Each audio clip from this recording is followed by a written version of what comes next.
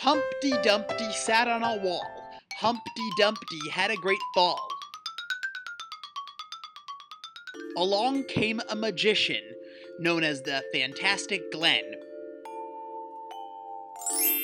He miraculously put Humpty together again.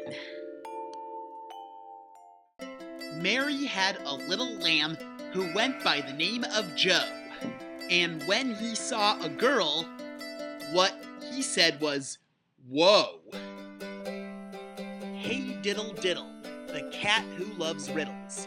The cow waved hello to the moon.